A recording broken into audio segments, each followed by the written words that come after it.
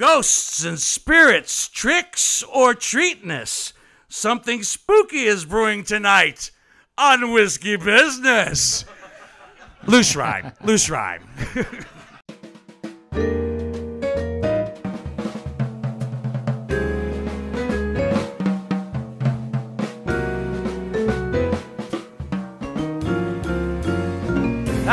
I'm Dino Tripodis, your host of Whiskey Business, the podcast not so much about whiskey, and we have a live audience at 451 Spirit. Oh, it is our first Halloween special, and it is the best gift that I could give to our audio producer, Greg Hansberry. He loves Halloween. He's been wanting to do this forever. Congratulations, Thank you. We son. Son, I never wanted, Greg Hansberry. You have your Halloween special. You're dressed up in your spooky tuxedo. Nice. Yeah. All right. Okay. That's not annoying yet. Uh, is that your? Is that oh, you? Yeah, yeah, yeah, yeah. Oh my God! Really? Oh yeah. There's like 14 sounds. Good. We're gonna hear all of them, aren't we, Greg? We're gonna hear all of them. Multiple I think before times. it's all said we'll and take a vote at the end. What's your favorite? Uh, before I dive into stuff, uh, let me just say, how about a nice round of applause for our spooky guests this evening? They have a new movie coming out, Obstacle Corpse. Hope Madden and George Wolf are here tonight. Yeah. ER Bucky Cutright will be joining us. He has a new book out, Haunted Cemeteries of Ohio. Oh. And as you can see here at 451 Spirits, I'm pretty sure this place is haunted, goddammit. no shit. But Chad Kessler will be joining us from 451 Spirits, along with Jesse Hubbard, who's been making your cocktails this evening as well. Say hi, Jeff. Yeah. Hey, hey, how's it All going, of them. Yeah, Jesse. All of them with 451 spirits, and there's if you want to buy if you want to buy some of the 451 spirits, they're available this evening. Uh, ER's book is available. Uh, Hope and, and uh, Hope has a book out as well called Roost, but we'll talk about more of that later. And uh, I, Hansberry, I don't think Yeah. that Halloween is the scariest holiday. To Oh, be honest no? with you, for What me, and maybe some of you will uh, agree, I think I think Thanksgiving is the scariest of the holidays because you have your family with you, right? Is there nothing That is true, scarier that's than true. getting together uh. with people once in a year or once every five years that you've never seen in such a long, long time? You're forced to sit and have conversations with an uncle you know nothing about that decided to show up after 10 years. You've got other people with secrets that they're that they're that they're finally revealing or trying to keep quiet. And if you can go through three days with your family without any interruptions, that is a good Thanksgiving. But I find it frightening as hell. And uh, this is the first year that I won't be with my family, so thank you very much. Yeah, this this is my my spooky This is as podcast for tonight. Um, but yeah, yeah, Thanksgiving. uh, That was a ghost. That was a ghost. Are you going to explain all of them each each step Well, of the they're not as clear as the little I, uh, picture uh, indicates, so I might have to. Why do you love Halloween so much? Uh, uh, I I don't know. I got into it when my- dad and I used to do like a haunted garage and stuff when I was you know eight, nine, ten years old, and I think I just kept the tradition going. Mm-hmm. And I lived in a haunted house for a minute. I lived in Indianapolis at a little haunted house. Uh, so that was like, th- Did you see Excellent. ghosts? no, I heard the piano go a couple times, and also the dryer started one time, which is nice because That's called laundry. it's- it- they're- yeah, they're helping. It was like a helpful ghost at least. Yeah. you heard the dryer go off. One time in the winter, the furnace came on. It was really scary. It got really hot in the house. Seriously? Yeah, Okay. All right. Well, our our uh, our, this our podcast guest- isn't about me, Dino. No. It's not and- about and- me. and yet somehow you managed to make it so. Uh, our guest bottle tonight, courtesy of 451 Spirits, is Bone Shaker Whiskey. A pot distilled Ohio whiskey made right here in the confines of 451. It's available this evening. It is uh, it is delightful. We call Chad Kessler the mad scientist of distillers here in Central Ohio, and he's got a, a wide array of spirits that he can share with you tonight. Uh, everything you're drinking that's made by Jesse Hubbard tonight was made with 451 spirits. This one is 90 proof, and I'm telling you what, it goes down smooth and easy. So if you do get it, your bones will be shaken after a couple of good sips of this, without a doubt. so thank you for this. this I is like it. It's good. It's, it's I good. You like like it. it, Johnny? Oh, I love it. Do you? Oh, you can't you tell? See, this is the thing about whiskey business. Uh, when we started the podcast, neither one of these guys drank that much whiskey. Now they drink more whiskey than I do. And uh, I, I'm wondering after five years if, uh, if I'm not responsible for some sort of. You'll get the bill. I'll get Yeah. the bill. I didn't yeah, bring my I'll get the rehab bill. But we got great guests for you this evening. And without further ado, I want to get started and get to it. Yeah, shall we? Yeah? Yeah, let's go. They've got their premiere screening here in Central Ohio, at least as far as I'm concerned, it's the premiere screening here in Columbus, Ohio, at the Gateway on October the 21st. They've been frequent flyers on whiskey business before. They we we do an Oscar podcast with them. We had Hope Madden on talking about her new book Roost, and I said when Obstacle Corpse is ready to be released, I want you back on the podcast. So it's a very happy accident that this all timed out so well. Please welcome uh, the creators, writers, and producers, and director of Obstacle Corpse, Hope Madden and George Wolf.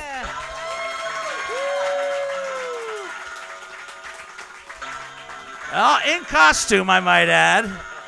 Now, I know that Hope and George put out a little video asking people to determine what costume they should wear for tonight's podcast, and I take it uh, Crystal Crystal Crystal Lake won out. Crystal Lake, yeah. Camp Crystal Lake won out. Yep. Yep. And this is one of your favorite Halloween movies?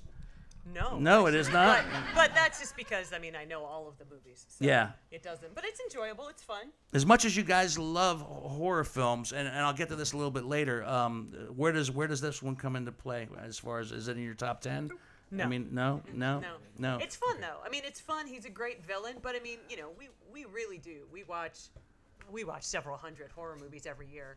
Um, so you know, it's it, to get in the top ten, you, you got to be a five star film. You got to be a five star, and you but you also have a, a, a horror film podcast, and you got the screening room, which is reviews of movies. So uh, Obstacle Corpse is your movie. This is I, I find this interesting. This is like you really taking a dangerous leap to the other side because, and I've asked you this before privately. Uh, are you nervous about after having reviewed films for so many years, now being the film that's going to be reviewed? You know, we got our first. We got our first Yeah. movie review um, uh, like a week ago because we had our we had our, our world premiere at a, a film festival in Tucson, and I was I was a little nervous about it actually. Yeah, it's a You weird know? feeling. It's a, yeah, it's a it's an unusual feeling. I wasn't gonna be I think a dick about it because I understand if you watch a movie and you don't care for it, you know, uh, I get it. But luckily, she loved it. Yeah, it was Yeah. really she good. loved Yeah. it. Nice. All I know. right. So that Good that is start. a, that's a nice feeling. It was a That's really good nice review, feeling, so- yeah, Good start. So, Obstacle Corpse yeah. is the film, and uh, I- I'm going to get this out of the way right now. Um, I don't know how many years ago it was, but George gave me the uh, rough draft of a short film called Obstacle Corpse, and after I read it, I told George, I said I like it, but it needs to be not a short. It needs to be a feature film Yeah. because there's a whole lot going on. So I would like you to indulge me this evening, if you would please. I still have it with me. Ooh. Yeah, and I fleshed it out. There it is, right Oh, here. wow. Right here. Uh huh. Memorabilia. Yeah. I'm going to ask you you, use guys Sharpie? to Red yeah, Sharpie? put the. Yeah, I'm asking you guys to sign it Oh wow. so I can keep it. And uh, once things continue to grow and prosper, I'm you going to sell it on eBay. I'm gonna sign it, even though my contribution to this entire script was the title. she wrote the rest of it. I It's a got the title, though. but I'll It's a sign good title. Sometimes that's the hardest part, George. I'll take credit. It is not.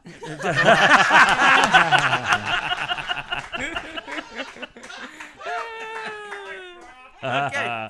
But you know what? It is a catchy title. Thank, Thank you. All right. Anytime you can get a good play on words Yeah, and to make it work, Obstacle Corpse. So, what is the movie about? It's about a a uh, young woman who just uh, she wants to prove to her dad that she can make it on her own, that she doesn't need the whole family around her. She doesn't you know that she can really survive, and so she uh, decides to participate in uh, an invitation-only obstacle course race. Uh, she somebody from her dad's shooting range. Shooting range Stephanie has invited her to be Stephanie's plus one, and so she has to. Sunny is the lead she she brings her best friend Ezra to be Stephanie's boyfriend's plus one, and they're going to run this obstacle course race, and they're going to teach Whitey, the dad, that uh, they're fine on their own, and they're probably going to go get an apartment and live like grown-ups. Okay. And then when they get to the race, eventually they realize that one of the obstacles is to kill your plus one. So that's why they were invited. Yeah.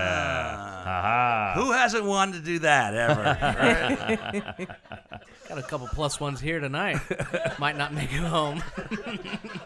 So there's a lot of there's a lot of killing.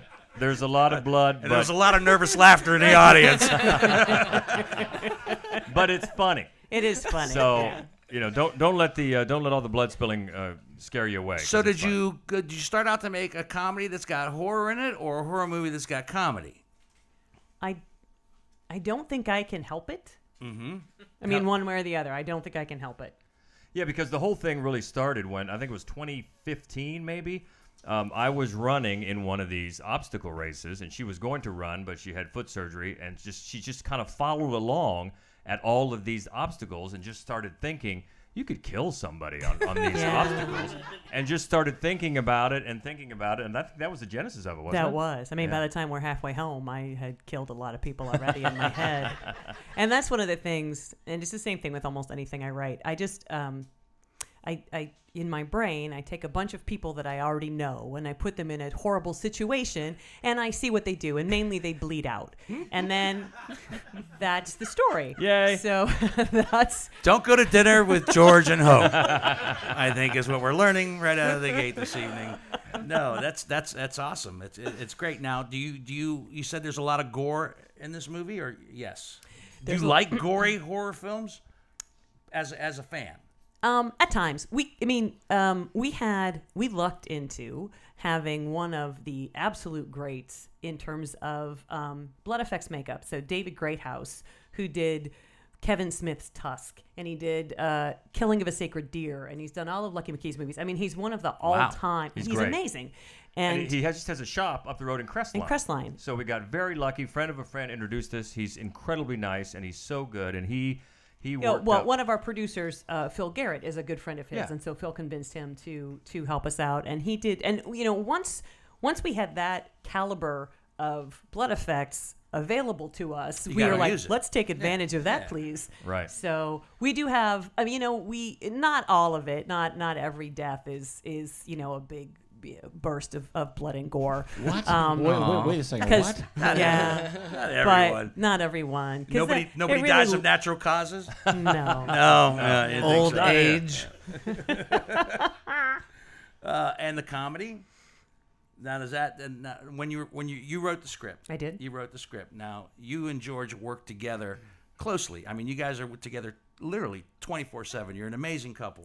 you guys review films together. You, you you make movies together. You do everything together. So when it comes to the to the comedy, are you going back and forth? Are you are you are you firing ideas off on George? Is this funny? Do you think it's funny? And Well, George, uh, I think I think one thing she does, which is genius, and she's been doing this for years, is she just carries a notebook around, and when people say interesting or funny things, she just writes them down. Mm-hmm. And I'm lucky enough that I've said some funny things. Yeah, sometimes. And she's written them down. Sometimes he winds up with a notebook, But- and, and but a lot of it too is, I mean, so often when you watch a horror comedy, the laughs come from the kills, right? You- You're like the blood and the guts and this, you know, organs fall to the ground and ha ha ha. I don't find that funny, and and so um, in our in our film, actually, our goal was for the deaths, the murders, to be a little alarming, um, and then the characters are funny because I like funny people you know? And so that's really what we tried to do. And and you know again most of the characters are really based on people i know who are funny. So our leads the, the you know the best friends are are based very closely on two people that I used to work with who are who are just hysterical oddballs and we do collect weirdos I think George and I collect weirdos and so um and I think for me one of the the great um reasons to do that, especially if you have so many characters. There are about 41 characters in this movie. Wow. Which, P.S., an idiotic Wow. decision on your first feature Yeah. film. Yeah. But That's a uh, it, it helps to make sure that you, you, you don't, as a writer, get lazy. They don't sound like me, right? It doesn't just sound like me with 50 different costumes on, talking and trying to say witty things. Instead, they, they really develop real characteristics of human people that I know who have never had their heads splattered, but still, uh, close as I could to reality. So I think that that's one of the ways that we kept it funny is that the, the humor is very character driven.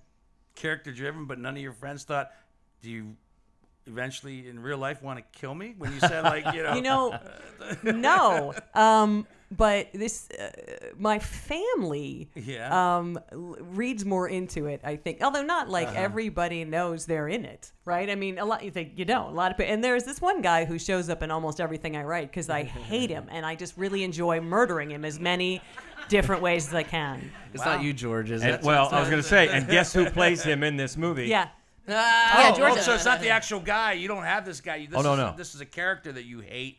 Yeah there's a in- in human real being life. i have Yeah. known in and my he life shows up in everything that you do. Yes, and there's Okay. also there's actually- also my first grade teacher, Sister Cleofa. She makes her way into everything I write as well, in one way or another. A Right what you know, nun, right yeah. what you know. Yeah. Yeah. She there's no there are no nuns in this, but it's set in St. Cleophas, Ohio, which is not a real place, but it was my nod to the evil that is Sister Cleophas. Which we, we'll we'll talk about Roost here for a second too before we get to it because there's a there, there- there's you got a lot of dark A lot going, going on. You really A lot do. going on. A lot going on. How, uh, which which begs the question. I, I'm going to get a little personal for a second. How did these two souls, since we're talking about Halloween, meet? How did we meet? Yeah. Um, I actually, back in 1990, was managing a bar and restaurant, and I hired her as a waitress. I think it was probably 91 by the No, time I no. was there. No, no. Anyway. Don't kill each other. Guys, don't fight. Anyway, yeah. Uh, she was 19 years old at the time, and I was a ripe old 26. So uh, I probably would have been sued uh, by today's standards, but um, that's how we met. Yeah, and Yeah. then uh, have just been together ever since. Yeah, we have nice. been. Nice. Go, man. Yeah, and you you found him charming and yes. She sophisticated. she and- liked my mullet Uh, yeah. Sweet. Now that's scary. and porn No, stash at the time. I, I think. didn't like either of those. I liked his voice right away. When I first met him, I liked his hey. voice. He does. He's got, got a great. great he's, he's voice. got great vocals. got a great pipes. voice. without Good a doubt. pipes. I mean, that's why the man's in radio, Yep. right? Right. That's why he's in radio. Great stuff. Well, that's good. And, and how long you guys been together now? Since 1990. 1990. 19. That's a long time. It Yeah. is, yeah. Yeah. And Yeah. still doing amazing things together. That's awesome. Um, the, the other question I have is uh, for, for you, Hope, and, and this is kind of a fun one. I want to go back to what I said earlier in respects to your costumes this evening. Um, you asked. I voted. I voted for Wonder Woman and, and Batman because, and I thought, you know, 'cause- and I'll tell you what my other choice was and why I didn't choose it, and I hope I don't get canceled because of it. Um, but I chose Wonder Woman because I well, like, oh, here, here's a woman who's writing, directing, producing, and for years has been, you know, critiquing and so forth, uh, creatively. Kind of a Wonder Woman. Yeah. Thank you very much. Yay. Thank you. And George Batman, as we all know, George uh, fights crime here in Columbus, Ohio, in the dark of night, right. unbeknownst to anybody. Uh, you know, before it's all said and done. And then I almost voted for for Roger Rabbit and Jessica Rabbit, but I I, I I I I don't know if I could sit next to you as Jessica Rabbit You didn't want to go there, Dino. because that's the, like if there was a cartoon that I fell in love with, who didn't have the hots for Jessica Rabbit and think to myself, oh my God, it's a cartoon. She's a hot cartoon. She is. Really is. But I imagine you're an awesome Jessica Rabbit, right? Well, I don't know. I- Yes. and George is like, yeah, wear it tonight. yeah. Yes. yeah, you guys yes. keep that costume to yourself. Yeah, yeah. okay, so Obstacle Corpse comes out. Uh, we're going to see it here. I had the opportunity to see it here in, in Columbus on October the 21st Yeah. at the Gateway. I know it's a 10 p.m. screening. Tickets Right. are. Uh, They by the, well, just went this- on sale like about 25 minutes ago. 25 Individual minutes ago. tickets. Individual yeah. tickets. Individual you can get tickets. you can get full festival passes, and if you like horror, I really recommend that Oh, you so do. it's 'cause part of the a- whole festival. Yeah. it's a magnificent festival called Nightmares Film Festival that runs from the 20th to the 23rd at Gateway Film Center, and Yeah. we're so thrilled We're to lucky be a enough part of to be. We're on the jury for that festival. We help to pick the films. so we're not And- in competition. We can't win anything for that Right. reason, but That wouldn't we, be fair. But Yeah. we Oh, we, we do won screen. again. We screen at, at 10 p.m. on Friday, and you can get yeah, you can get tickets right now. Yeah. So please and then, do. So there's going to be the screening, and then there's going to be a fun Q and A after, hosted by Phil Kelly and uh, Katie McKee from Good Day Columbus. Yep. Nice. Because if, if you didn't know, we're on Good Day Columbus every Friday morning doing Right. movie reviews, and they have been incredibly supportive Yep, uh, of been. giving us some some publicity for this project. So and there might be there a little wrap party afterwards. Just Nice. come and see us. A little drinky drink. Yep. So let, let me ask you this: as a as the writer and director, it's hard because you know we've we've collectively with John we've we made films. Were you ready to let it go? I mean, how long did it take before you were say Yeah. able to say, okay, uh, that's it. This is this is this is the cut. This is the version. Release my child Literally today. today. Oh, wow. Really? Um, yeah, so we Yeah. saw it. Uh, we saw it. I saw it because George wasn't able to go. I saw it for the first time theatrically two weeks ago um, in Tucson, and I did not like the sound mix, uh, which of course I'd heard a hundred times, but not in a in a Not in theater. a theater. Right. In a different. theater, I It's was- Big Different. Totally different. Yeah. and um and so I I went back and had it redone, um, which was a little troubling because the the drop dead date to get our materials to Nightmares Film Festival was on October eighth, which is not today, by the way. what? But I figured we were already on the website, so they were going to have to. No, they were very nice about it. They totally understood. They didn't want crappy sound either. So, Yeah. Yeah. um, right. so now it sounds good. It looks good, and uh, yeah, and I need to just let Did it you go. do this? This is your first time you directed a film. I mean, A a, feature, feature yeah. film. a I've made three film. shorts, as you know. Yes, You're- I know. You are the I'm- star of one. I am I'm one of your shorts. I was honored to be asked to do it. That was a fun day. Uh, did, what did, did you? How'd you feel? I mean, that's that's a that's a big bite to take and a, and a lot to chew. Did you? What did you learn? Um, I was um, I was exhausted and completely overwhelmed. I was I've never been so overwhelmed, um, ever. And it, you know, it's it was it was an awful lot. We were it was twelve days. That is an insane pace for a feature film. Like sh- that's you shot it all in 12 insane. days? We Yeah. shot it in That's- twelve days. that's- How, how many pages did all you of it average? out. Um, uh, it was a total of about seventy six scenes. I don't know. I can't. I don't know how many pages per day. yeah. That's brutal. It was Um, really it was- grueling. oh my God, it was really, awful. really grueling. and it was entirely outdoor. We had one day with interiors. Everything else was outdoor. Um, mo- mainly, we were deep in the woods. I can't even tell you how much tick spray we went through. And then that would be another thing is that so I wrote it. I wrote it in the woods. These these events take place in the woods, but I write scary stuff. So I write stuff that scares me. Otherwise, it's not scary like on the page. I have a pathological terror of the woods. so that was another incredibly dumb thing. Why? That was like the dumbest thing ever. Why? Why do you have a fear of the woods? I don't know. I mean, it, I'm also claustrophobic. You just are. You just have phobias. I don't What know. happened in the woods? Nothing. I'm not dumb enough to go in the woods. Nothing. I have always been afraid of them, and I have always avoided them. There always. was nothing in your childhood that said don't go into the woods. all those nursery happened in the rhymes and fairy tales. No, the, dude, the. I mean, everything. woods. Common sense. Yeah.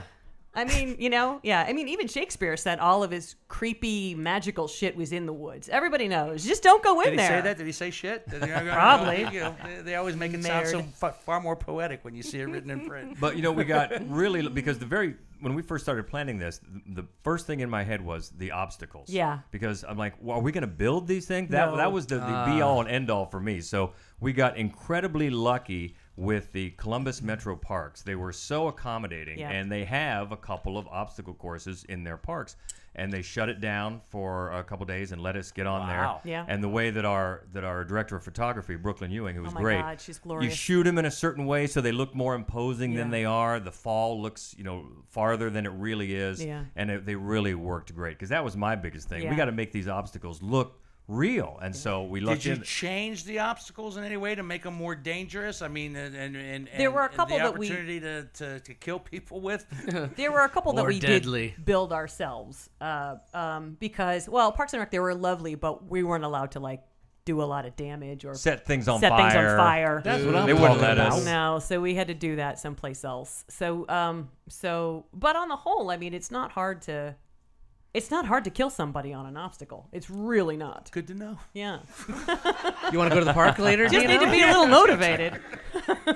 In fact, really the best, I think probably the best kill in the movie. We were just taking a tour through it, and I looked at this one, and I thought, boy, you could do this with this with this, and it turned out great. Yeah. Uh, it Yeah. turned out great. Thanks mainly to Greathouse. Right. oh, it's a good one. It's a good one. It's a good It's a mixed emotion when you have someone sitting next to you that's absolutely one of your favorite guests to have on the podcast, and also one that you're most afraid of at the same time. And she's always smiling, so All right, happy. generic question. This being Halloween, and you guys having a, uh, a huge background. I know it's it's like picking children, but what is your number one favorite horror film? There was a recent survey, and I'll tell you what number one was, and maybe it is number one for you, but I'll tell you what number one was after you tell me. Mine is The Silence of the Lambs. It always has been. Silence I of the think it's a- Lambs. Think it's Excellent. a perfect movie. Yeah. Yeah, Great. I probably The Exorcist. Um, Exorcist was yeah. number one. Was it number one? Was number It's- one. It's so incredibly good. There are so many others. You know, on a different day, it might be Yeah. something. Yeah, he had a T-shirt on, Yeah, didn't he? right. Yeah. Very, very nice. The Exorcist came out in what Yeah, 1970, the, the, the December of 1973, I think. Yes, I think It you're came right. out. Yeah. And that movie in 1973 grossed between winter and spring of 74 grossed 200 million dollars in 1973. In today's dollars, that would be like 900 million dollars, more money than uh, s- the, than Star Wars: The Force Awakens. I think is what they said. And it's still figure-wise. amazing. You watch it today, Wow. It really especially is. the director's cut. You know, years later they added a few more scenes. Yeah, the one where she's so- walking down the steps like a spider. Ah! Yeah. it's a good it's moment. so so chilling. Still. My daughter never saw that movie. She was a junior in high school, and she goes, "We want." And she was with her girlfriend. She goes, "We want to watch The Exorcist." And I go, "You want to watch the? Ex- We've never seen it." And I go, and they were like. Yeah, we've seen, you know, they've Oh, seen yeah. all Right, the right, right, all right. the Jason movies and all the Freddy movies and so prepare forth you. and so on. I go, all right, fine. And I said, but you got to watch it with the lights out and everything dark, and I won't bother you. I'll let you guys watch it alone.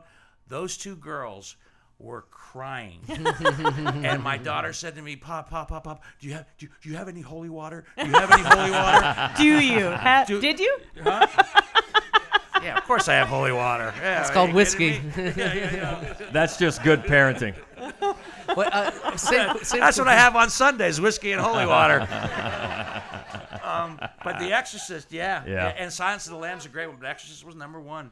Still, and they're making a new one. They're rebooting it. Yes, I just found out about that. They're rebooting it. They're making it a whole franchise. I guess they're So going to go. They've already got one, two, and three planned, but no Linda Blair. right. But David Gordon Hmm. Green, who is the he he's the director who did the reboot of Halloween. He's doing it, so I have some. Yeah. He's also a really great director. Uh, Halloween Society. And Ellen Burstyn, yeah. who played the mom, is Yep. coming back, or at least for the first for the one. first one because she no, is in her nineties. Yeah, but no Linda Blair. That is curious. Yeah, well, Is William say- Freaking involved yeah. at all? Is William Friedkin involved? I don't No, think so. mm-mm. I don't No. think so.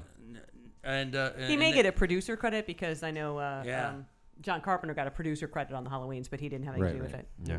You ever read the book by William? I actually Blatty? did. Yeah, Yeah. Creepy Years book. ago. It's Yeah. very creepy. Very creepy book. You can see why somebody jumped on that immediately. Yeah. Sure. And I guess uh, poor Linda Blair. I mean, I know she's good now, but I guess that film just messed her up. Yeah. Sure. Everything that they put her through to make it, and so forth and so on, had some lasting effects before it was all said. and Yeah, there's actually the a third great- one's really good too. There's a great The second document- one is terrible, but The the, second third one is awful. The third it's one is terrible. really good.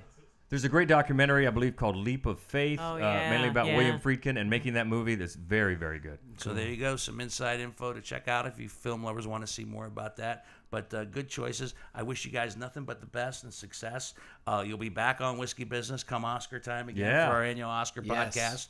Uh, we'll see how that goes. But in the meantime, uh, you know, thank you for signing this. I'm gonna hold on to this. I am gonna Thank hold you. on to this. No, you Thank kidding you me? very I don't much. Get, I don't get rid of everything, and I go, ah, there it is, there it is. And I'm glad that this actually uh, came to fruition and became a feature film because that's exactly what it needed to be. So much, much success. to Well, thank of you so much. And uh, I can't wait to see what's going to be next because I know you're already planning the second Oh. movie. right, right. You're planning a second film. And also, before we go, give, give me Roost. I, we, we had Hope on by herself just to talk about this book. This is Hope Madden's book, Roost, which is a, another delightfully scary read. Uh, it's gotten great reviews as well, and it's available, right, as we speak? Yes, it is. Any place you buy books, you can also get the book, an autographed copy of the book, or, or Obstacle Corpse t-shirts at our website at maddwolf.com. Two D's. Just check the store there. All right. Hope Madden, George Wolf, give it up for him, Thank folks. you. Thank you. Thank you. Thank you. Our pleasure. Thank you. Uh, one very specific thank you before the night is all said and done. You're enjoying the cocktails from Jesse Hubbard and 451 Spirits, but you're also enjoying pizza from Gatto's Pizza. Right here on Indianola Avenue in the old Wildflower Cafe location. They used to be on North High Street forever. They moved uh, to this great location where there's indoor seating and you can sit inside and have a pie. If you got to get a pizza, you got to get a Gatto's. You do. Yes. Dino, Dino, they got Got the- it? Yeah, they have the great double Italian too. The, the double Italian? A double Italian sub, The- oh, the double Italian something. Have you had that recently? uh, like twice. Twice? I've only had the single. It's a double. So yeah, you had to have it four. twice. I got it twice. Yeah. So, so thank you, thank you to uh, uh, my good buddy Dave DeRoberts and, and his son, um, who now have Gattos and have, have, have taken it over and uh, and still keep the Gattos tradition alive as far as the recipes and the taste and so forth. I hope you enjoyed the pizza. There's still more of it. Uh, Dave brought in more pizza to make sure that you guys don't go hungry before the night What's is the all phone said number? and What's the done. phone number, David? What's the phone number, David? I can't remember Two six three three seven three seven. Wow. Two six three three seven three seven. It's good. As a good host, I should have that written down, but no, I don't. As a producer, I should have given it to you an yeah, ago. right. As a- so I, I, can, I can blame you. but thank you, thank you, David. Thank you, thank you, Gattos. And a little bit of business before I bring up our next guest, Hansberry, if you don't mind. Let Thank the you. people know. What's, Whiskey uh, Business is the podcast, not so much about whiskey as it is one with whiskey. You finally got it right. Yeah. I wrote that down Yeah, good. Okay. an hour ago. I've only been saying it for five years, but that's okay. Thanks for subscribing on your favorite podcasting app. Uh, don't forget to like and subscribe and uh, leave reviews and stuff because that helps uh, Whiskey Business find new people. That's awesome. Um, if you're listening on uh, your favorite podcasting app, well, you know that this is a YouTube video. Uh, uh, You can see all of these wonderful, beautiful people today, Uncut. right? Thank you. Thank you. And that's uh, our video producer, John Whitney, on that side. Give him a round of applause. It, it's uncut, and the camera was rolling in between segments. And if anybody stumbled and fell, well, you're going to be on TV. And also, I want to do a shout out to to, to our buddy uh, Chip Cassell, who's uh, uh, I, I say he's our our fifth Beatle, even though there's only three of us. But Chip has been taking pictures and video, and he's been an integral part of the success of whiskey business. So give my buddy Chip a nice round. right. of applause. Chip, yeah. Thank you, Chipper. All right, let me wrap it up. You, uh, so it's YouTube Whiskey Business with Dino Tripodis on YouTube. Smash that subscribe button. Smash. Let's, let's try it again. Smash That's that a highlight subscribe of my button. evening, by the way.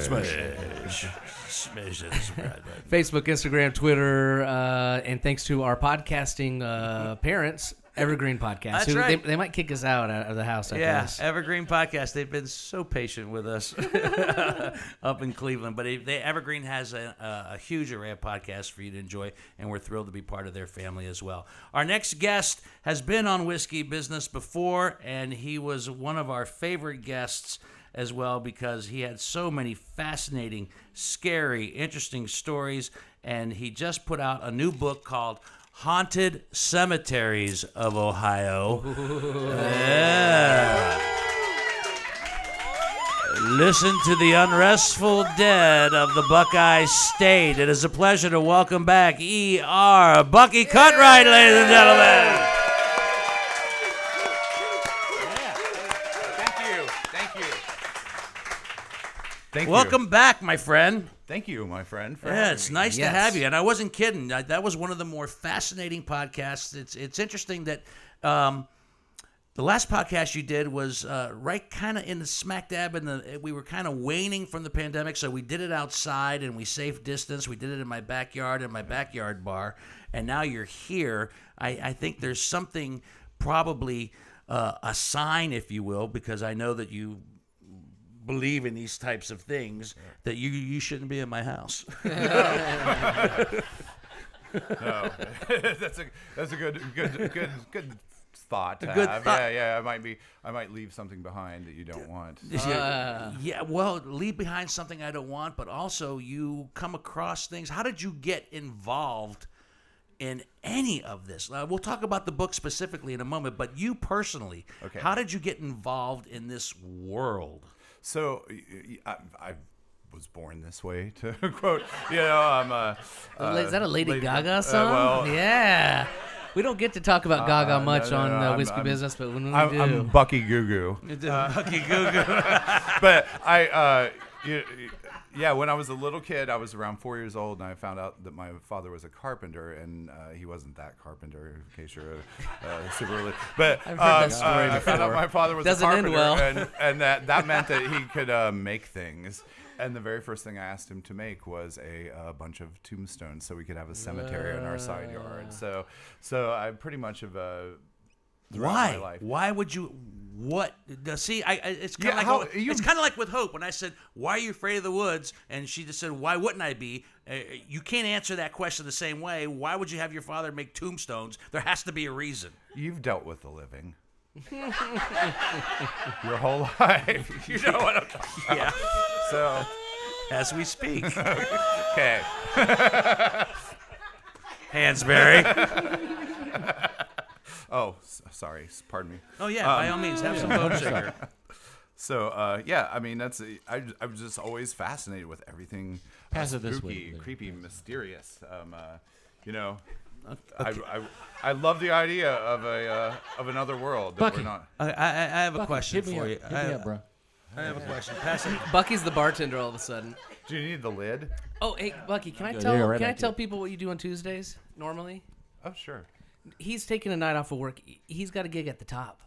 Yeah, yeah. So, yeah. So I've been s- I've been slinging steaks. Uh, So um, it's, it's he- he's got the. I guess I'm saying he's got the whiskey pouring down. Mm-hmm. Yeah, yeah, yeah. Oh, so you're bartending at the top? Uh, I, yeah, steaks. bartend serve usually served now. I like. I love the top. Yeah, it's. I I did a commercial for the top. Oh, did, did Yeah, you? years ago, yeah. it's a, yeah, it's a. It's a classy place. It's I, why I, I enjoy uh, contributing to the uh, slowing of people's uh, circulation. Yeah. Because you want everybody to be dead. Yeah. yeah, sure. Okay, I saw. Uh, I think it was an Instagram or a Facebook video. I saw you driving, and in the back of your car was a coffin. Yeah. Yeah, that wasn't supposed to wind up on social media. I just accidentally. I thought I was sending that to a friend. Um, Why? no, uh, Why? okay. Why, Bucky? so for the the book launch of haunted cemeteries of ohio you know Uh-huh. i really i it's important to me to give back uh, to the community uh, even as a small business owner and uh, skyrocketing prices but i wanted to um uh, i wanted the book launch to be a benefit so we did a, a thing for green lawn abbey which is a 1927 historic mausoleum uh, on green lawn uh, south german village area and their uh, stained glass windows are in a terrible state. Uh, they've been vandalized uh, because of its reputation as a haunted location for uh, decades and um, so that's where we had the launch party which is kind of fun to have it in a crypt A- and, Okay. um, All right. and as part of it uh, my friends uh, leslie and costa who are here tonight um, uh, Hey, hey, hey. the after after death plan afterlife plan um, uh, after death plan excuse me What? it's a podcast with yeah. whiskey It uh, helps. but, uh, it so, helps. So they, they they happen to have a um uh, they happen to have a, uh, a coffin. Uh, Oh, just happen to have a coffin. I'm glad they're uh, here yeah, tonight. By yeah. way. So, so Let's, let's I'm exchange sorry. uh, you social seem media. like very nice people. I saw when you came, but who the fuck happens to have a coffin? yeah. So so yeah yeah yeah. Um, and so it's actually it was a neighbor that had it, and, and it was um it's a old uh, uh it's a neighbor that had it. yeah yeah they got it from a neighbor. Do you look like, Got right in between the Munsters and the Addams family? Yes.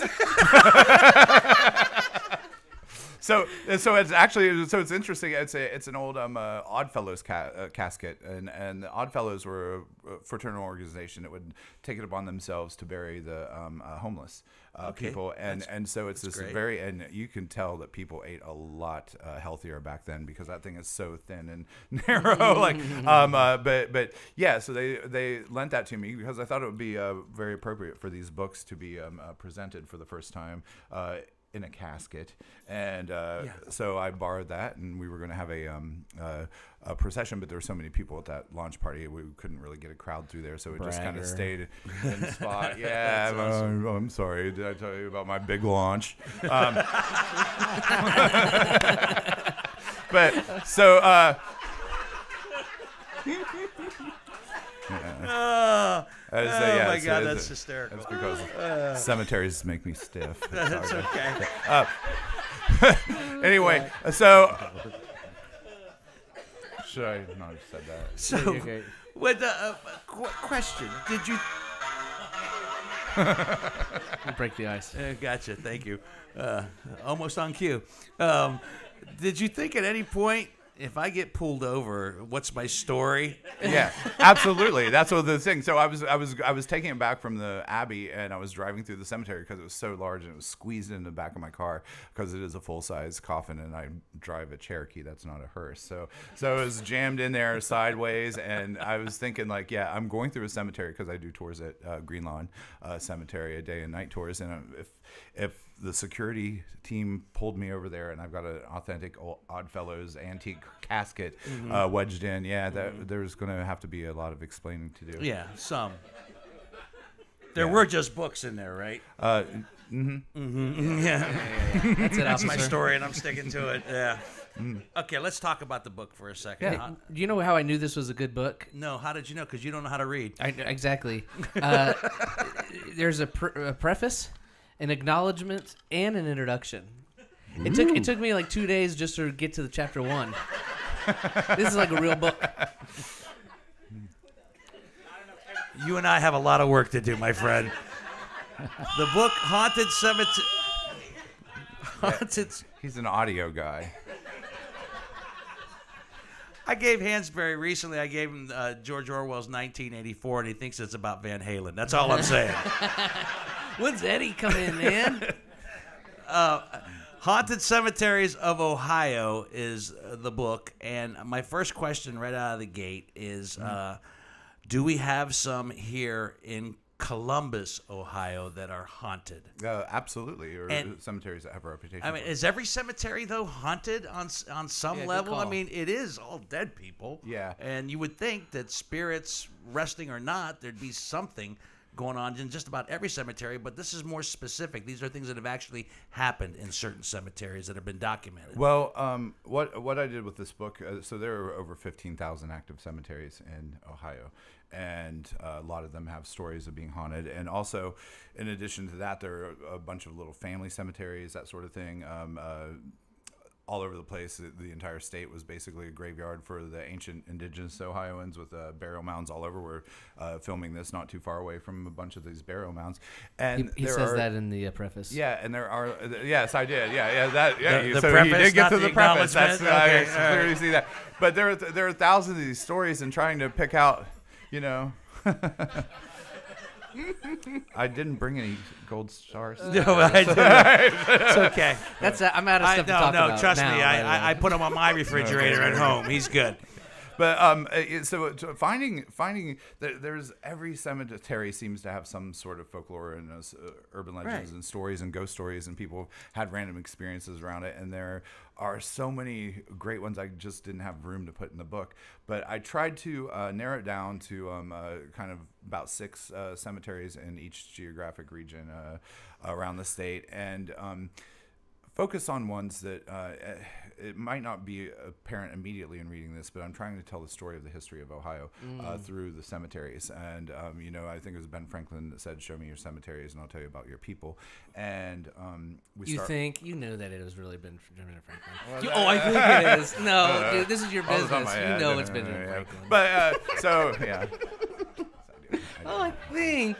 That's a that's a disclaimer in case the whiskey uh, sent me the wrong direction.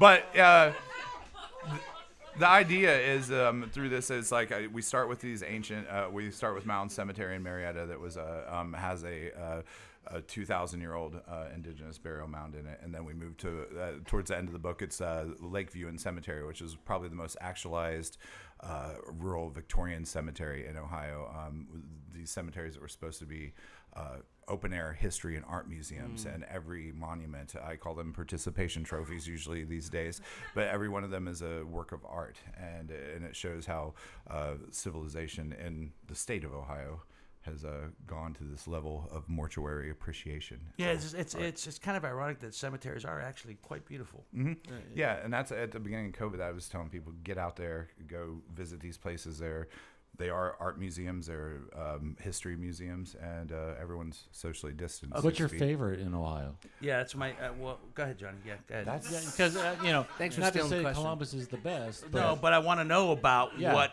we can see in Columbus that's supposedly haunted. But That's what's your, what is your favorite so- cemetery? I, that is so hard for me to say. I, It's like uh, picking a favorite child. Yeah, I know. yeah, yes. I I have. I have thousands and thousands They're- of them. they might all Um, listen to the podcast. But there are there are um I mean some of the one really beautiful one that I had never visited until I started doing research was in Wellston, Ohio, um, a church called Salem Cemetery Church, and uh, that Mm. it's this really secluded but beautiful, peaceful, just gorgeous little old cemetery. Um, uh, Mm. But like Lakeview, uh, Greenlawn Spring Grove is the largest cemetery in the state, and that one is uh, stunning to, to visit. You it's uh, 700 plus acres, and you can get lost in there, and would not be sad for doing so. Okay, so I have two questions then. That's your favorite? Yeah. Uh, Th- th- those are those. uh, as you're trying to pick. Sure, But Wait, if we, Salem, you said is your favorite? Spring Grove probably. all right. is, But if we were to pick a, a cemetery, you know, people who love to do spooky things on Halloween, if we were to uh, focus Mm-hmm. on a cemetery here in Central Ohio in Columbus, which one that's in this book, or uh, I would imagine if, if there was one, it would be in this book, which one should they visit and what happened at that Okay. particular cemetery? Well, I'd say uh, probably one of the more chilling is uh, Little Pennsylvania Cemetery in Darbydale, which is down near uh, the Trapper Johns um, uh, uh, on the southwest side. That is, it's more commonly referred to as Woolly Booger Cemetery. yeah. Um, but. Uh, so the, You become a just a tad cynical, I think, over the years with your dead people. Yeah, Eh, Willy Booger, whatever. Yeah, Wally Booger. But uh, well, it's just the name. It seems a little ridiculous, but I do think I discovered in this book, uh, in the research, why it actually has that name, which has been a mystery for a while. But that place, um, there's most of the people there's a, there's a little girl who died that was hit by a car um, uh, buried there there's a, you know most of there's a poet of Darbydale oh sorry um, uh, I was like drink faster um, I can. Cheers. Oh, oh, he will. right, there we go. There we go. Cheers. Cheers. All right, Good luck. Come on, come on, come on. He's getting ready to tell something chilling. Let's so- stop. Let's go. Make it really scary this time. this is what yeah um, have your uh, sound effects at the ready No, Greg. let's not. Give me, give me, I haven't used the owl about one to a take that away from you. so As an owl. So the so the thing about um, uh, this little Pennsylvania or Woolly Booger Cemetery, it's got a lot of stories. I've had so many people um, uh, over the years tell me that uh, you know I'm not so big on this stuff, but that place, uh-uh. And uh, right before I actually got the book deal, and the publisher was the one that asked me to write about haunted cemeteries, and I was like, okay, that's a good fit. I wasn't intending on that being a subject of a book of mine originally. Um, right before that, I had a friend, an internet friend. I've never really known her in real life. She um, uh, became close friends with one of my old roommates that since lives in Illinois, and this girl had just moved here, and um, she was a sensitive, a medium, someone who could see things. And apparently, her boyfriend decided he thought it would be a lot of fun if he drove her around to these different haunted locations to see if uh, she got sort of a vibe or anything.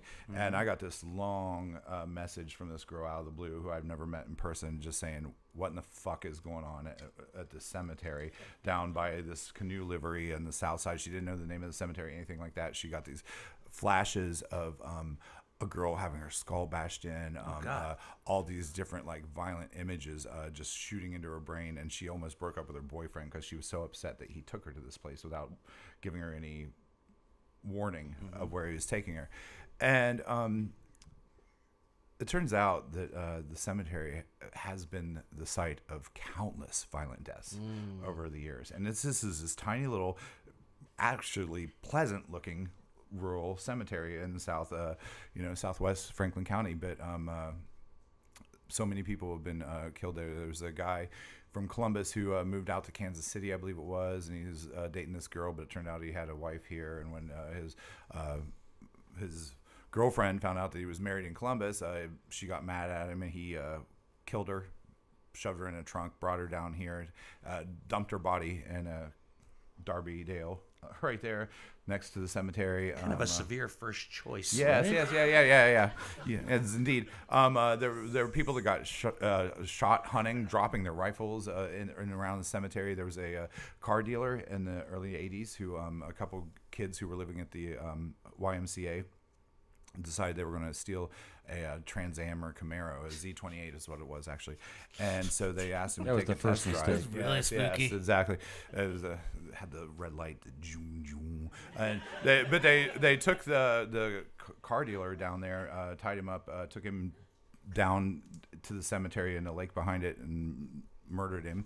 And uh, there was a shortly after that, there was a landlord from Old Town East who um, uh, was having a date with his girlfriend in German Village, and they were attacked by a, uh, a carjacker that took them down there to the cemetery. And uh, the uh, once they got to the cemetery, the uh, the victim, the male victim, got away from the uh, carjacker and shot him and killed him in the car. And it turned out it was one of his employees who was supposed to be married the next day and was a completely on the level guy. So why he suddenly violently carjacked his uh, boss, it's just so many strange things. And there was also a woman who um, uh, was found in a uh, garbage. Uh, I don't mention that in the book because it was relatively recent, but there was a woman's body who uh, was in a custody dispute with uh, her baby daddy, and her body was found in a garbage barrel there. So, so that place has got some That- bad yeah. stuff going on for a little country cemetery. But beautiful during yeah, the day. yeah, I, I, yeah. Wow. Mm-hmm. Wow. What, So that was me- the s- go uh. Southgate Springgate again. What was that one? Oh, that cemetery? Yeah, yeah, yeah. Okay, yeah, so yeah. That, that that's a Little Pennsylvania cemetery, or more okay. commonly referred to as Woolly Burger. All right, really Uh, yes, in uh, near Darbydale. Let me ask you this: um, with all the years that you've been doing, do you feel that as a result of just doing all this type of work and all this type of research, do you? And you said you had a friend who, who's a, a medium. Do you? Do you believe in that? And do you also, two part question, do you believe in it? And do you also feel that you possess something like that that makes you gravitate towards this type of research and this type of work? Are you connected somehow? Okay, so well, you know, I think that um, uh, I, people do seem to be predisposed. Uh, we can know things that we're not really have any reason for knowing. Uh, It's it's uh, you know that's I, I- believe that we're all intuitive. yeah, we're all intuitive. We're yeah. all intuitive to a degree, and some people have a higher level of that in, of that intuition and develop it and and use it. And then and then there's some people who take it to the next step and say that I'm you know I'm a psychic or I'm a medium. And Yeah. but I basically believe in my heart that it's just intuition, and some highly develop more than others. I think yeah, I think it's a, pretty much a it's a it's just a natural human ability that most of us refuse to or don't hone. You know, Mm-hmm. I you know there was a study in I, the 80s and 90s uh, with Juilliard uh, students uh, versus uh, just um, you know like engineering students where they would do these psychic um, uh, tests to show cards and be like, do you know what's on the Right, other side? of this? right. And the Juilliard, the, the musicians and artists, uh, they scored much, much higher uh, than uh, statistically would be, you know, uh, chance uh, on that stuff. So and think, why is that? uh, Because musicians are, are a left brain, more, uh, little you know, more maybe the left brain requires, and more open. yeah, the- it requires more of a uh, um, an openness, I think. So, So, do you yeah. feel that you possess those type I of I- gifts? I could. I try not to You though. try- why? because I do this for a living. I don't want to bring my work home with me. You know, uh, uh, and uh, Good question. Yeah. Does your work come home with Oh, you? yeah, Has your work yeah. come home yeah, it with has. you? It has. I, I don't know if we've uh, addressed that on uh, the last time I was on here or not. But yeah, I've had a few things happen occasionally from time to time at home. And, Like what? Well, uh, you know, when I very first started doing these, and I'm going on my tenth year of uh, giving ghost tours and that sort of thing in town.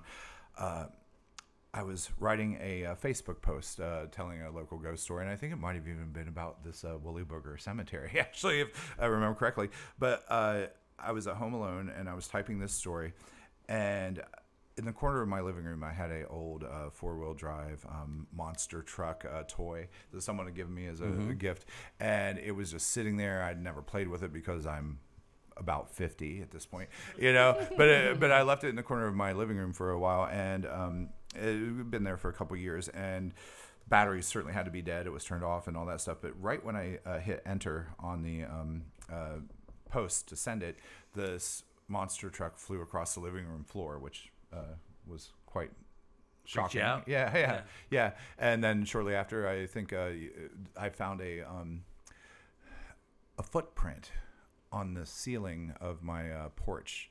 Uh, it, it- it's about 12 feet up. I, I, I, I went out uh, one morning to have a cigarette. I'm no longer a smoker, but I was having a cigarette, and took a stretch, and I went like that, and there was a, a bare footprint, uh, 12 feet in the air, um, just on the ceiling of my my porch, and that was disturbing. Yeah. No, no neighbor kids that caused that. No neighbor kids. Uh, no, uh, uh, no. All my neighbor kids are short. Yeah, okay. Just checking. you know. Yeah. Did you stop to think about anything you had done prior to seeing that footprint that it might be? Did you connect it Oh to uh, anything? no, I had a pretty normal night before that. Yeah. I know. I really. Oh, That was a good laugh. so That was you, Johnny. No, Well, no, uh, now, now I have. Now I hear nothing. Hold on, John. Just bring the house down a second. That's just the uh, house audio. Don't worry about. it. okay. All right, there we go. So yeah, no, I no, I hadn't really been doing anything out of the ordinary. Nothing. Nothing. Drinking. No, no, it was in the morning. Drinking. No, not that day. not that morning. And I said cigarettes, right? Right, right, right, right. so, in this book, what is, for- in in your opinion, I want uh, once again two part question. The scariest story in this book. I mean, they're all pretty scary, and then I want to know what's the the most scared you've ever been. Okay, while doing this, or uh, just- Well, if they go hand in hand, Right. so be it. Okay, so I'd, say- I'd say one of the uh, the more uh, disturbing stories for me in the book that I found while researching. There's a uh, um, there's a section about a uh, the Lima Hospital for the Criminally Insane, and that uh, w- it was an actual horror story. Uh, doing the research on that and the things that uh, the happened with the uh, inmates uh, or patients rather, and uh, and also with the um, guards and the interaction there. It was uh, it was it was beyond belief. Um, doing the research and what I uncovered in that, and that place was very grim. I can assure you, the old uh, Well, the, the, just the that phrase, the criminally insane. I mean, it's bad enough you're criminal, and it's bad enough you're insane. But if you put the two together, oh Yeah. my God, you've got monsters. Yeah, well, um, well, the thing was, is unfortunately they weren't very good at um, uh, differentiating between the criminal and the insane, and um, so there were people that were, uh, you know, that had slight um, mental health issues that were being housed in a cell or a, a patient room with a very, very violent people. And So uh, people that would, that could have been helped that shouldn't have been there. oh yeah, and as a result of being there, Mm-hmm. I mean, once again, you, you hear all this all along about sometimes being uh, uh, trapped and in an environment that uh, kind of like a, a almost like a Stockholm syndrome of sorts. If you you actually become where you are, Mm-hmm. Yeah, yeah, yeah. Well, there's that. Um, uh, then there's also instances like uh, in the book I mentioned a story where there was a young boy who um, uh, had kind of got in trouble because he was giving his parents problems, and they ended up throwing him in this uh, uh, asylum uh, prison system. And his best friend ended up becoming this uh, elderly gentleman who had uh, one day chopped his wife to pieces with an axe and dumped her body down a well. And uh, this was shortly after the asylum opened one day uh, they were best friends. Uh, the elderly gentleman lured this young boy into the basement and then um, uh, brutally murdered him with a Oh my hammer. And uh, so, um, yeah, there's lots of lots and lots and lots of really horrifying stories in there. So that that one was really disturbing for me. Um, uh, particularly, a lot of the uh, the guards um, were. Uh, mistreating the patients there and uh, they got away with it and even while I was doing research, I found these um, message boards where it would be people who had clearly been patients talking about the situation, and then someone who was clearly a guard saying, "Screw you! I know who you are. You deserve to be locked up. You should be dead. I should have beaten you with a, you know." And it's just it's it's Wow. it sends shivers down the spine. Uh, it's sending shivers and- down mine right now. Yeah, and so I mean, uh, so the book uh, it is haunted cemeteries, and hauntings can be a lot more than ghosts, you know. Sure. And and I address that at Some- equal parts in there. Yeah, sometimes the evil is living and breathing as Yeah. we speak. Yeah. Wow. So, but I, but one of the scarier stories I've from me Yeah, um, in this s- book. So uh, it's not in the book. Oh, yeah. It's one of the ones I couldn't put in there because it was too. right. So there, there is a cemetery I write about.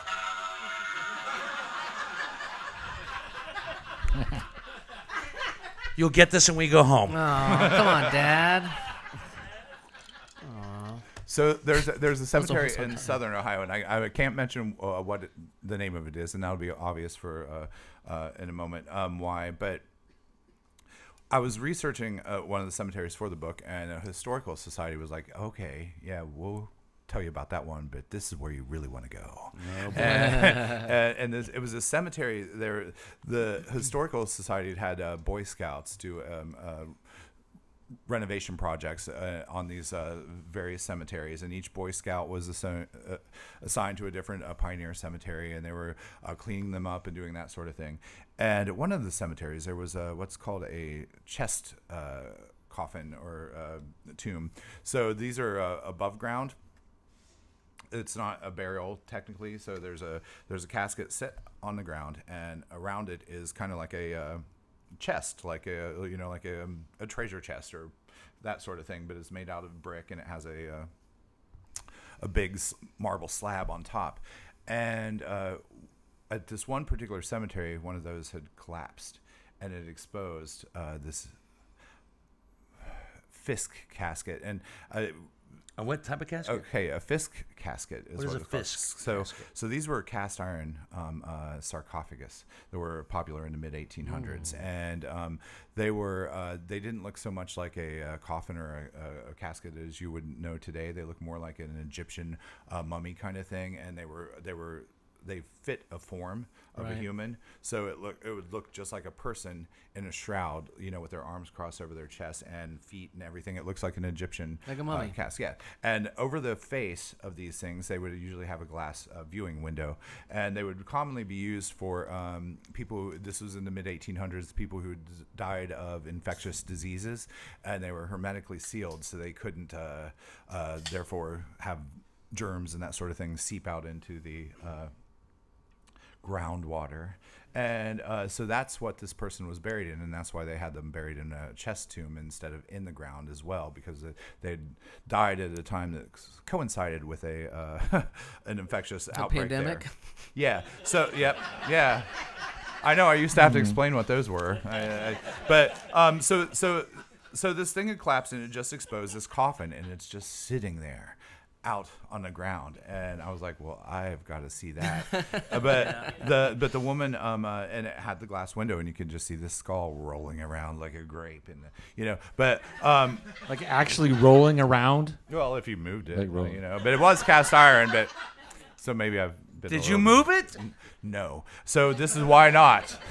uh, but the, the the historical society went on to explain to me. So this Boy Scouts were doing this uh, renovation project, and the one who had worked on that cemetery, uh, he'd completed it, and he was in front of the historical society with his little uh, paperwork, getting ready to give his pres- presentation, and the phone rang right as he stood up, and it was this. Um, a call to inform them that the guy who was a caretaker for that cemetery, the tractor had flipped over and uh, killed him instantly. And this, the the historical society went to this exposed coffin, lightly covered it with some gravel and leaves and things, and then slowly backed away. I was like, okay, yeah, but I did want to see it. Still, I didn't care. So you do have. Would you consider yourself to be morbidly curious about a lot of things? Yes. Who isn't? Right. Yeah, yeah. No, I'm not. Oh, okay, well, I'm not that morbidly. Well, you know what? I take that back. there we go. I take that back. I, I think about some of the things that I've seen over the years, and yeah, I am morbidly curious. I think we all are. We, you know, you know, Mm-hmm. one day we're gonna buy a tube of toothpaste and we're not gonna be there at the end of it. And you know, any indication of what might happen on the other side. Is, Wow, I'm almost at the end of my Yeah. tube of toothpaste. I might not brush my teeth anymore. yeah, but, uh, Squeeze that sucker out. make that last a little longer. no, no. But but yeah, so uh, you know, I mean, I was just. Uh, I don't know. I mean, I, I wanted to go see that that um, uh, casket, and I got to that cemetery, and uh, I could see where it was, and it was covered with damp leaves, and I went to scrape away the leaves, and I just couldn't bring myself to do it. You know, it felt very. Um, Invasive. well, well, I know that it is, yeah, it is uh, uh, and aptly so, but uh, but also, um, uh, I did not feel alone uh, there. I must say that. that Okay, was, so once again, I go back to that. You you you do get those feelings. You Yeah, do- yeah. You, you do pick that up. yeah, and I usually try to uh, uh, block them out with um, you know, uh, um, episodes of uh, the Golden Girls or. Uh, Is that what does it for you? Uh, yeah, I mean, I don't know, some old Barney on YouTube or something like that. Teletubbies. A cu- All right, we're, There's no sound effect for the Teletubbies. Barney That- Miller. that's a, that's a different thing in boxing. those are scary all on their own. They don't need a sound effect. All right, so before we go, uh, a couple of things. This book is available everywhere. Yes. Uh, yes, for the most part, yes. I, I'm, I'm surprised. It is uh, through the History Press in Arcadia. I don't think uh, they're carrying it right now at the Book Loft or a couple of the other local places, but Barnes and Nobles uh, should have it. Uh, you can buy it at columbusghosttours.com directly from me. I have a big box of them here tonight. Yeah, you a, can get uh, it here tonight if you guys? want Uh, to. yeah, I have I have a, don't I have have some change and a um uh, Not a big sharpie casket? and a and a and a coffin. I know the coffin is I, I didn't fit tonight, but I also have a, a, a tap. Oh, square gosh, reader. I know, shucks. I know. he's got a sarcophagus. I could have, yeah, and, and actually, it's kind of funny. That thing's resting on two electric chairs in my garage right now. So, yeah, Two electric kidding. chairs. You have electric chairs in your garage? they're prop. Why? Um, well, so uh, Katie Rendazzo that had the restaurant Ambrose and Eve, um, we did a, a, a true crime uh, death dinner several years ago, and uh, Yeah, it no matter what you say, it's not gonna it's not gonna matter. But go ahead, So anyway, we used those. We had a couple of these uh, real life electric chair sort of things that you could, uh, uh, for an upcharge, you could sit in one of those and eat uh, dinner upcharge. inspired by the last request of uh, convicted serial killers. And and uh, Katie just moved to L.A. and she uh, said, "You probably want these, don't you?" And, yeah. yeah, I just didn't have any space in my living room though, so they're in the they're in the garage right now. Comfortable?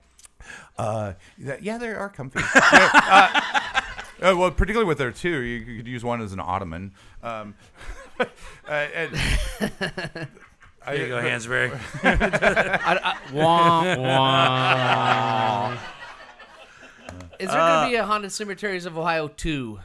Um, Probably. uh, yeah, yeah. yeah. Well, I mean, there's enough material certainly to do that. Although I have to say, like the um, I when the pandemic happened, I started uh, trying to write a book, and uh, and then I just sort of kind of willed this into being because I was approached by a publisher, you know, as I was already working on a couple manuscripts of my own, and uh, there's a couple different subjects I want to write about rather than cemeteries. So I don't know, but but there are enough cemetery stories, that's for sure.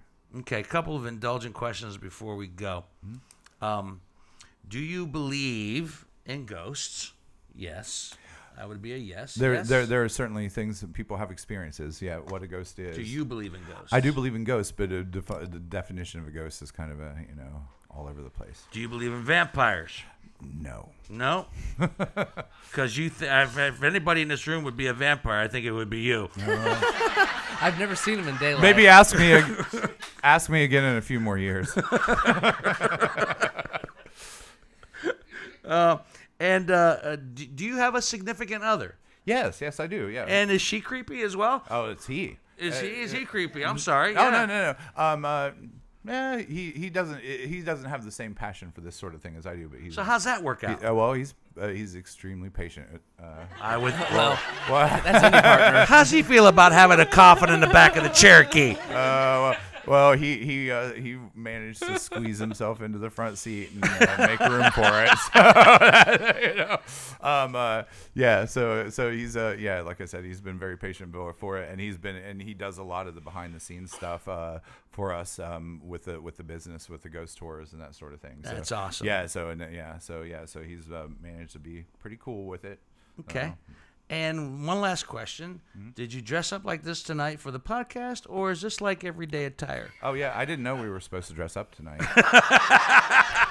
ER cut writer.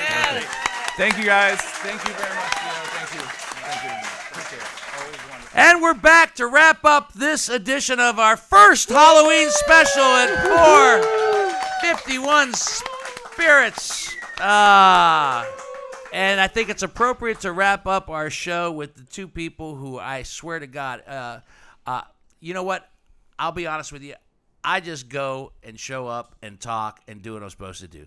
If I did not have my video producer John Whitney and my audio producer Greg Hansberry doing all the stuff that's connected to this thing, this podcast wouldn't happen. But in respects to this particular podcast tonight, if it weren't for the two individuals I'm about to introduce you to officially, tonight's Halloween special would not have occurred. So give it up for Jesse Hubbard over there to my far left, over there, who's been mixing your cocktails this evening mixing the 451 spirits that are distilled by the mad scientist of local distillers and host tonight, Chad Kessler of 451 Spirits as well.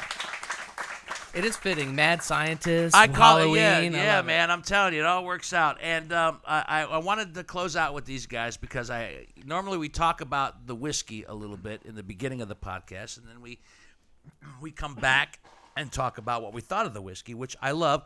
This is the first time I've had the Bone Shaker, so I'm first going to go to uh, Chad and tell me what is all involved in Bone Shaker whiskey and what is kind of the philosophy of distilling here at 451. You want the real story, or am I gonna make something up? No, I want the I want the real st- I want the real scary story. It's Yeah. not scary. It's I, not scary? I, am a giant nerd. Is the real story. Uh, Yeah? Yeah. Worked retail for a long time in beer and liquor, and as soon as I got into drinking, started exploring craft whiskey, craft beer, and just felt like there could be more creativity in distilling. So I didn't want to make the same stuff that other people made. And you're not. So yeah, You're not uh, so that whiskey is basically a distilled stout. So barley, Hmm. rye, oats, and then roasted barley, compared to bourbon, which is mostly corn. Mm-hmm. Love bourbon, but plenty of people already make it.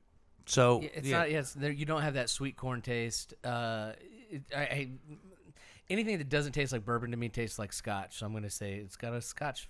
Uh, no, and I vibe. no, I, I I think it's got more Meant of a to be rye. like a cross between like Scotch and American style whiskey. Yeah. I, I, I taste the I, I like the rye. Listen, I'm a big rye Mm. fan. So, but this is delicious and uh, scarily, if if I could, you know, keep the theme of the podcast delicious because it goes down really. Look at this. I mean, it's almost gone. We started with a full bottle. I know it wasn't just me. Was it? Was it just me? Man, No, was it it, just wasn't me? you. No. Was, No one is here right now. but yeah. you. Right. How'd you come up with the name Bone Shaker? I mean, That you have some unique names for your for your for your Yeah, they all have cute names. Anytime I try to like go to a liquor store or bar and like pitch it to people, they're like, "Oh, how high were you when you came up with that name?" and you tell them. Yeah, Yeah, you do. Generally. yeah, I was really high. Um, but no, Bone Shaker is now the old school bicycles that had two different size wheels. You had the Bone Shaker and the Penny Farthing. Mm-hmm. Uh, I started off aging in two different size barrels, and so that was my nod to that. And Bone Shaker sounds a hell of a lot cooler than Penny Farthing. I searched. yeah. I searched Bo- Bone Shaker on my computer at work, and they, they called me up. I don't know why. I don't know why they would have called me up for that. I'm still trying to figure it out. and so so now you guys in the audience, you're actually here at 451 Distill. It's kind of a unique place. You know, we've been uh, we've done uh, a lot of podcasts with other distillers, and they're very. Uh, and I'm not taking anything away from it, but they're very formulaic and unique in their own way. But they're very standard. They have their big, you know. There's you, you're not going to walk. typical. yeah, they're, you're not going to walk into any of the other local distillers and see artwork. This great artwork. I mean, what's that about, Chad? You got great art. You're an artist as well. Yeah, Yeah, Artist. yeah, yeah, yeah, yeah. I make whiskey and I and I create beautiful art. Try to be a musician. Try to be a musician. Uh, yeah, you got a great band. I'm the entire corporate board, so that's part of it. yeah, all by your lonesome. Yeah, I'm, al- I'm also the janitor. Yeah, As you have you a meeting tell and you're like around. approved. Um, It really came in handy because we were decorating and there was cobwebs everywhere. I per- it was used to get so Thanks, upset Jesse. when I did like formal tours. Like people would like, like, oh, there's cobwebs. You gonna clear this? I'm like, no, the spiders are our friends here. He's preparing I for make this Halloween for special living. all year there long. are so many fruit flies in this place. When I'm in the middle of production, I'm, I want I want all the spiders I can get. Please Yeah, sure. fruit flies. Amazing. So they're welcome here. I How love many of them. you guys out here have been uh, to 451 before? Anybody? Anybody? There's a handful of people handful? out there. Yeah, for sure. Yeah. Well, it's a unique place, Ha- and do you it, just do, do uh, tours and stuff, Chad? I'm just open now. So Okay. that, that was something that came about during the pandemic. I used to do formal tours four times a week, and I started to go a little bit crazy doing it. Yeah, 'Cause yeah, I I was here for one. You it. weren't. You're not the best tour guide. Uh, I have heard quite the opposite, sir. Anything else you want to know? Sometimes No, you were great. I'm I'm kidding. like, I'm kidding. I don't know if I said that today or yesterday. I'm yesterday. kidding. I'm There's a kidding. I'm there. kidding. I'm kidding. I'm kidding. You're great. You're awesome. And how'd you hook up with Jesse Hubbard over? Jesse, thank you, by the way, buddy. We got yes, Jesse. Tell us- Aw, Jesse. thanks everybody. the Thanks. the cocktail, the cocktails you made tonight. One of them was an award-winning cocktail, correct? Yes, but I just wanted to point out. You notice how I got everybody nice and liquored up when it was time for me to get Thank the round you. of applause. Right, right, right. Yeah. I Yeah. just want to point that out. I, this is not my first rodeo. Yeah. Wait, what was your question? I'm sorry. the cocktail, the cocktails you made tonight. One of them was an award-winning cocktail. Yeah, like all three of them. This is the first time that I've ever, uh, you know, done them. They're like, you know, fun riffs on things. I like to always always keep it fresh and do. Like, man, I love Halloween. I, I love Halloween so much, almost as much as Hansberry, and Almost. And on, honest, honestly, I mean, it's just really fun to kind of do like fun, spooky things and have fun garnishes. So yeah, it was it was it was fun. It was cool. Yeah, those you you spent treat. more at the dollar store than uh, anybody just on these cocktails. yeah, That was great. yeah. The eyeballs, dollar. Uh, for those listening, yeah, eyeballs, uh, vampire teeth, gummies, gummies, uh, yeah. little, yeah, like that was a Target purchase. Uh, and, a little pricier. and those apple uh, caramel apple suckers, just a lot of fun. No, Yeah, we, thanks- we thanks, man. recently had both Jesse and Chad on the podcast not too long ago when they were uh, when they when the two minds came together and, and made a, a coffee infused rum called uh, Rag and Bone, right? Yes, And sir. so, uh, uh, first of all, I'll, I'll talk about that again and remind people about that in a second. But how did you two spirits, so to speak, come together and combine? You want to take it? You want me to take it? Being kindred spirits, I mean, Yeah. both in the industry but on different ends, and just realizing Yeah. we had a lot in common. So like fun tie-in to the evening. Actually, we first met. I used to bartend uh, when the whiskey bar existed at the Westin, and uh, that's how I met uh, Bucky. Was he would come in with his ghost tours, Yeah. and they would have cocktail hour beforehand. Oh. I had no idea you knew Bucky. We yeah yeah it was I haven't seen him in forever. It was super super cool to like be here tonight and uh, just hear him talk about his stories. I've always wanted to go on one of your uh, your tours. I definitely after hearing everything tonight. But like they would come in and have the fun cocktail hour, and then they'd go on and you know like I just catch little snippets of it, and then I'm like, wait a minute.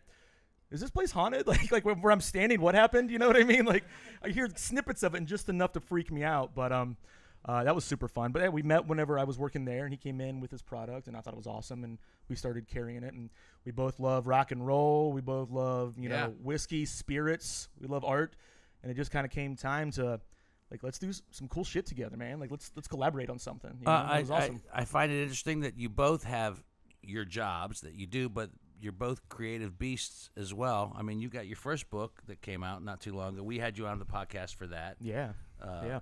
And that book is doing well. What's the name of that book? Tell everybody again. Very simply uh, titled, so people know exactly what it's about: punk rock and cocktails. Yeah. right. and it is about punk rock and, And cocktails. cocktails. Right. I thought about a catchy title. I'm like, just why beat around the bush? It is what it yeah, is. just you know call what I it what it is. Call it what Do it you is. have some here if anybody wants to pick one up? I didn't bring any. Um, I'm an idiot. You know what? No, you know what? No, he's not. Still- no, I'm still working on the No. marketing Look part, at me. I'm using. I'm using my bottle as a pointer now. No, no, he's not an idiot. He's a humble man. He said tonight isn't about my book. It's about this podcast. So he purposely didn't bring his books tonight, Good but they are available as we speak everywhere. And you're working on a new one as well. I am. Yeah, it's it's done actually. Um, but so I, I released the first one with a local publisher, and it's been awesome. Uh, I've had some interest.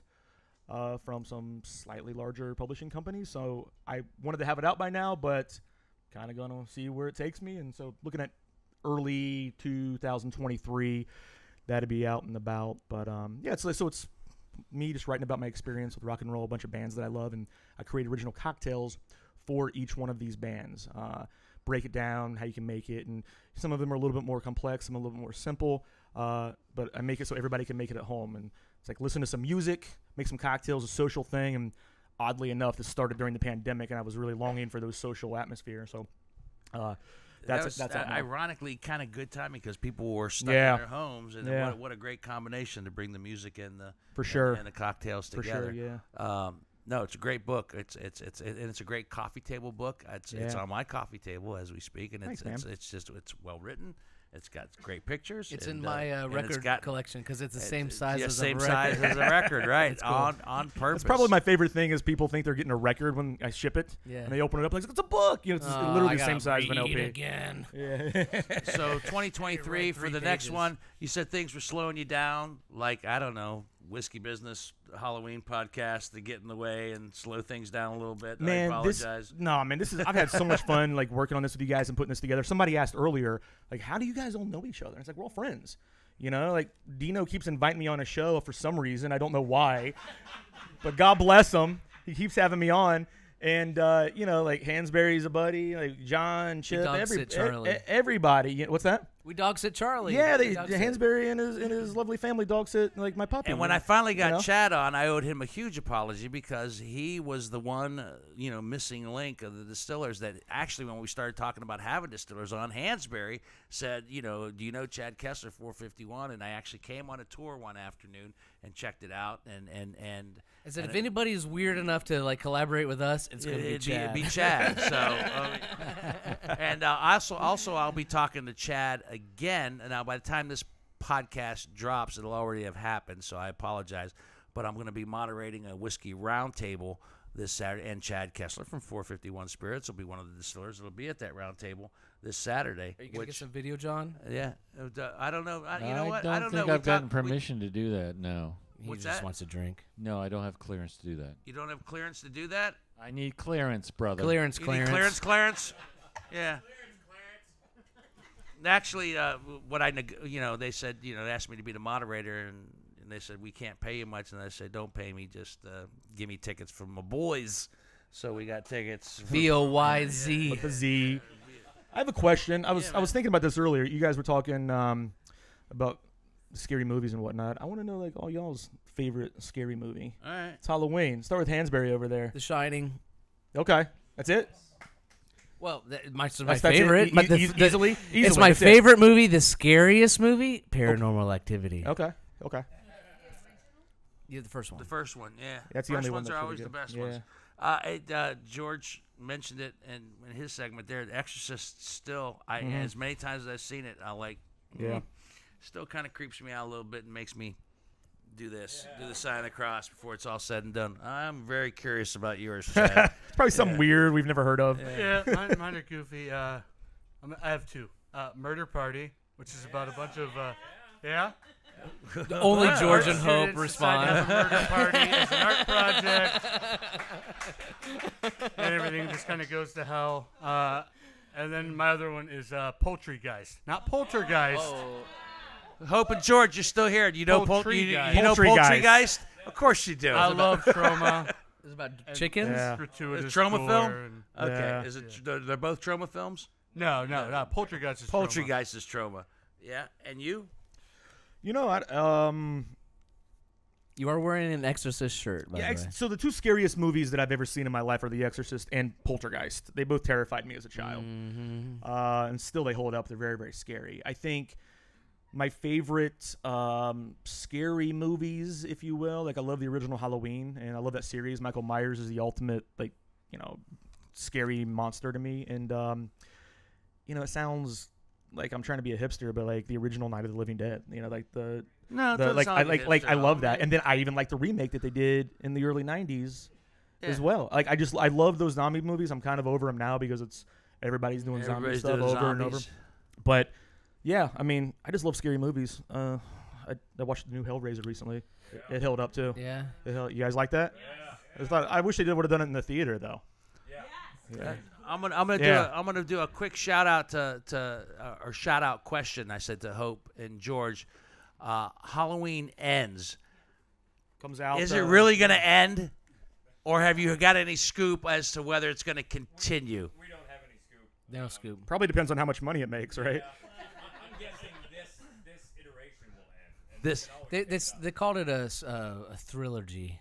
Yeah. Trilogy. Three. Uh, Halloween. tri- so thr- three yeah. Halloween ends. Yeah. No, so yeah, this is the third one though. This is the third one. Okay, this Yeah. will be the third one. you guys okay. see? Uh, uh, I, I just watched uh, interview with the vampire on AMC. That's a that's a TV show. Hope and George don't watch TV shows. We've discussed this in previous podcasts. I have not watched it. Do you like it? It's cool. Yeah, I didn't. so that's a ringing endorsement. Put that on the cool. poster. It's cool. Hansberry. Yeah, and, it, and as far as movies that scared me as a kid, yeah. I mean, The Exorcist. Obviously, I was in I was in high school when that came out. But movies that scared me as a kid were all the all the Hammer films. Still scared me. All the all the all the Dracula, uh, the the Peter Christopher Cushing, Lee. Chris- Christopher Lee, Peter Cushing. Those the the Blood of Dracula, House of Dracula. Those scared me for some reason. That's why I asked Bucky if he was a freaking vampire because vampires. I, I I I think that there's out there. I, I know some people that think they're vampires, and that's good enough for me. If you think you're a vampire and you think you might want to suck my blood, cool. Get the fuck away from me. I uh, I knew a kid years ago, like high school, that was convinced he was a vampire, and I tried to get him to suck my blood, but he told me to have the Uh. right kind of blood. Oh, really? Yeah, and like he'd wait till no one was looking and put his fake fangs in. I was like, "Come on, do Be it. positive. Come on, do it. I never heard a vampire vampires. What blood type are you first before I do the, the, it's, uh, interesting. Uh, so let me ask you this: Moving forward, I know Jesse, you got the book that you're working on, and you're you're going to continue to keep uh, doing your masterful cocktailing wherever you may do it, right? Yeah. Wherever I, the I case really might be. it. Yeah, really enjoy I mean it. that is that is how you uh, made your bread and butter, but now you're moving on to the things. But you still, I saw you back there. I saw you still. It's like you go back to your roots, no matter what. No matter what you do moving forward, the something where you started is always a good sweet place to come back to and, and, and do something special with. That was an award-winning cocktail that you made tonight that nobody got to taste until this evening. You people were the first to actually Wow. physically taste it, other than the competition, right? yeah, except for the, yeah, yeah.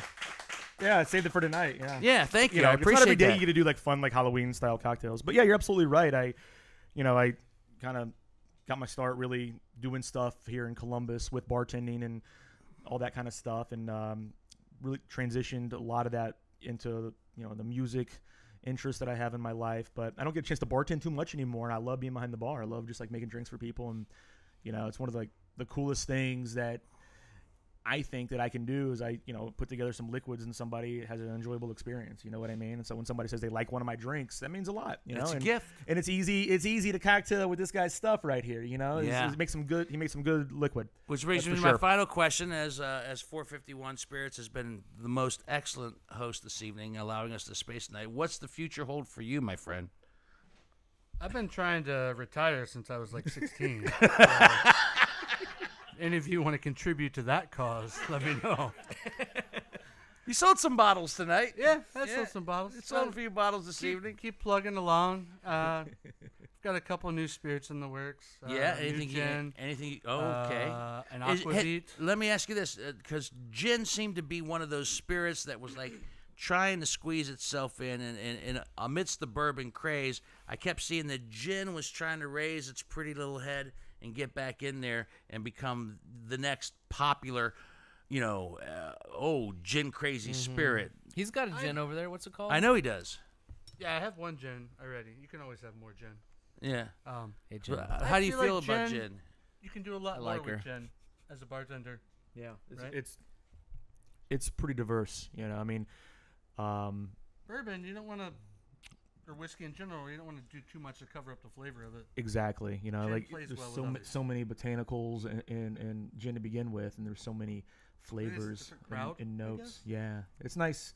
It's nice to have you know both in your arsenal. I think. I'd say gin is a is a classier crowd, but uh, I drink gin, so so no, that that brings the bar right back down again. Yeah, but so so a couple. You, can you tease what some of the things you might be yeah, so working the on? gin is uh, kind of tiki, more tropical inspired, and then the other spirit is uh, aquavit, which is a Scandinavian, um, cumin, caraway, dill, strange herbal. It's gin esque. It's gin. Where, do you come up with these thoughts and ideas? Uh, Lots and lots of research. is that what you call it? That's what I call it. That's how I get away with it. All right. Well, I want to thank again Jesse Hubbard for making cocktails for all you this evening, and of course Chad Kessler from 451 Spirits for hosting this magnificent space. A lot of the artwork you see hanging on the walls while you were here before you leave is for sale as well. I mean, you know, I told him that I'm either going to commission a piece for him to do or, or, or buy something here that strikes my fancy. I, I never saw Misery. I never saw the Stephen King Misery. I didn't see it last time I was here. Um, yeah. Yeah, it's good placement. Dino, can I say something real quick before Yeah, we man, wrap up? say whatever you want. yeah, Um, we're out of time. Well, I'm going to leave you out of it then. So, um, I, I, I- everybody, I, give it up for Dino and John And just and John. not Hansberry. this has been awesome. Uh, I've had a blast, and it's not easy to do what they're doing. So, Yeah. like, this is really cool. Um, so, thanks for having me a part No, of it. No man, thank you. Yeah, these guys, these guys. On behalf of Greg Hansberry, the son I never wanted, uh, our audio engineer, and John Whitney, of course, who sits behind the scenes and every once in a while brings that beautiful baritone up with a question. He does all the video YouTube stuff. Thank you, John Whitney. And thank you guys for coming out. You gave us a nice little sold out show. Granted, not a huge amount of seats available here at the distillery, but you filled them all and you stayed Yes. and you enjoyed it. Yes. Yeah. Ow!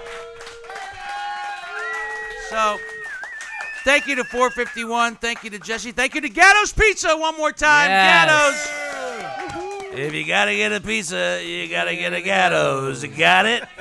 Yeah. I wrote that for him. I don't think they're gonna use it. And as I always close almost each and every podcast, my name is Dino Tripodis. Thank you so much. Until the next bottle, see ya.